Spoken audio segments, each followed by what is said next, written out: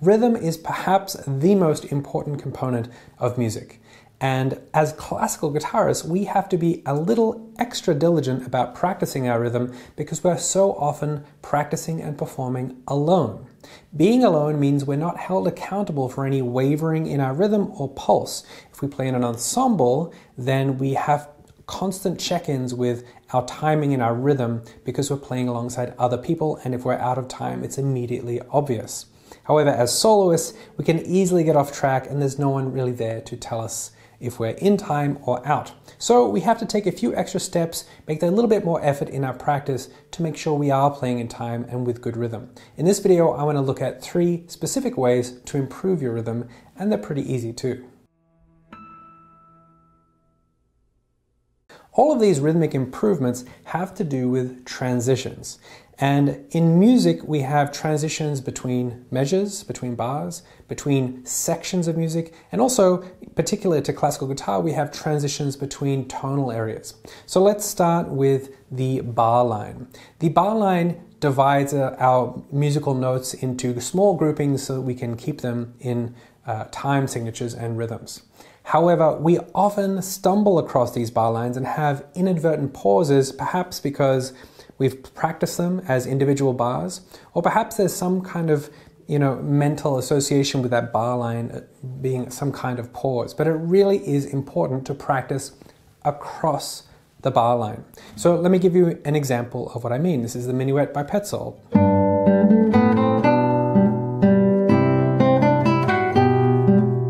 So here we have four measures of 3-4 time.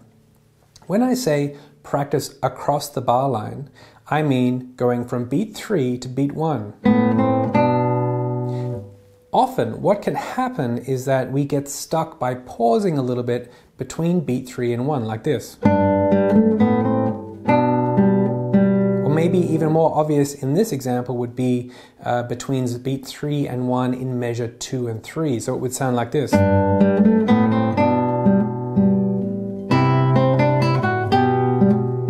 Having a little bit of a break in between those two musical ideas. The ideas themselves are nice and coherent, but unless we practice across those bar lines, we lose that sense of pulse. Let me find another example in here.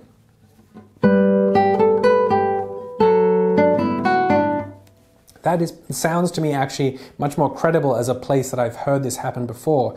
This is across the bar line, but there's also a technical shift that happens at the same time.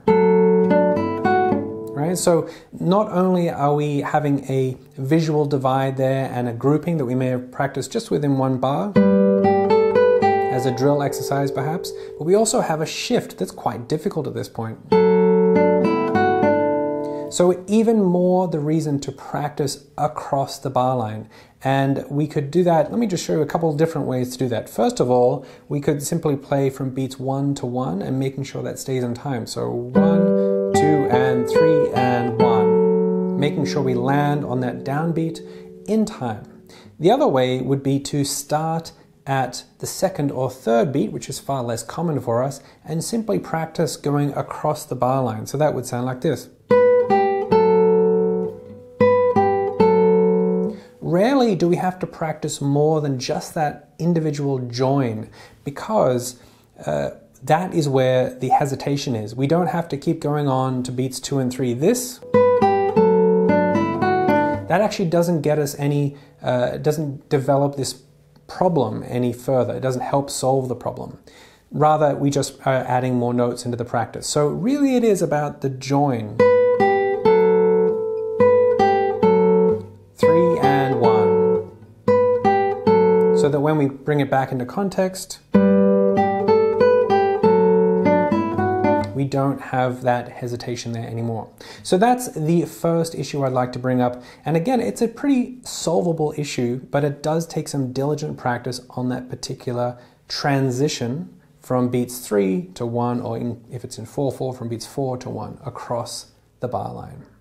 The second point that I'd like to address is a very similar one, but it's on a bigger scale. This is to do with form or large phrases that have pauses. So, staying within the same example of this minuet, let's say we came to the end of the first section. That sounds like this.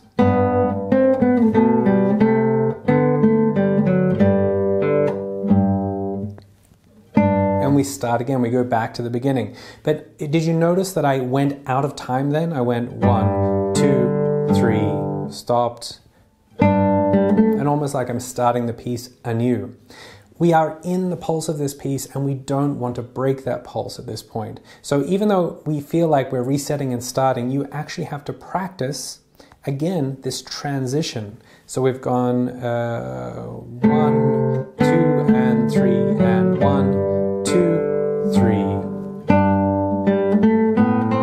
no more difficult than that, but just the practicing of it is quite important because I see it quite often in grade exams that there are these hesitations or pauses at the end of sections where there are repeats or uh, perhaps where there are ends of phrases. Let me find you an example at the end of a phrase. Okay, this is study number two by Fernando Sor, opus 60.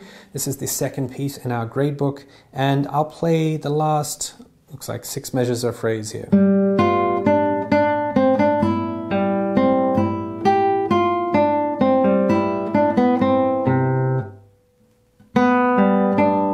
It's a very clear ending to a phrase there but there's only a rest on the third beat. It then continues on uh, in time. And that is another point where I found that people pause too long and that disrupts the rhythm, it disrupts the pulse. So, simply put, it is practicing across that transition. One, two, three. Mechanically, there's not anything more difficult going on. It's just the fact that we're not used to playing in time at that point in time. So it's worth practicing. The third issue I want to deal with, the third transition, is the tonal transition when we move our right hand to get contrast in our sound. I'll give you an example that comes from the 20 practice routines. This is from practice routine number three. It's a little study I wrote called Salute to the Morning Sun. And this is about, well, the short story is that when I used to surf back in Australia, the sun rose over the east horizon over the ocean, and a very powerful blast of sunlight would come in, and it would slowly fade as the sun went up and became less potent. So this opens up with a very uh, grand gesture, strong and loud fortissimo, and gradually over the course of the three lines, we gradually get down to. So it's all about transitions in, in the right hand and also contrast of tone and dynamic. Now, in terms of playing that, we have a lot of movement in the right hand. And while a lot of students at the Academy do a good job with committing to really nice tasto or ponticello or normale, just normal in the middle there, it's the transition of the right hand that doesn't stay in time. So if we took, for example,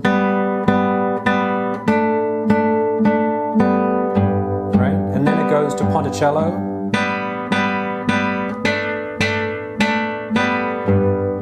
Now there's a big right hand transition all the way up here. I know it's not a giant distance compared to many other things, but it's a giant distance on the guitar.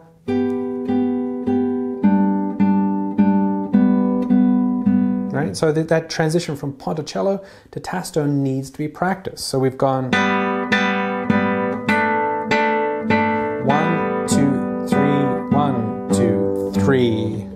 Right, that break.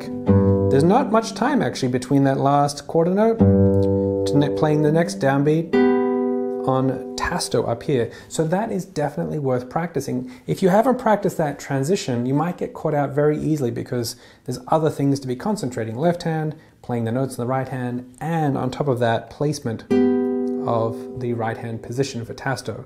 So, that in itself, even if you're playing the music in isolation in time, it's worth practicing the transition. Just that. Those three aspects, so transi- transitioning across the bar line, transitioning on repeats in time and maintaining the pulse, and transitioning your right hand through different tone worlds, different sound worlds, those are very much worth practicing in isolation so that we can shore up our rhythm. Because these are rhythmic hesitations, pauses that happen in playing a lot, and it's a little hard for us to monitor it uh, unless we hear a recording of ourselves. or we have someone point it out. So always remember to practice the transitions. Set a little time aside when learning a piece to practice right hand shifts, uh, big repeated sections, and also to practice across the bar lines if we have longer phrases. So I hope that is of use, and I'll talk to you soon. Bye.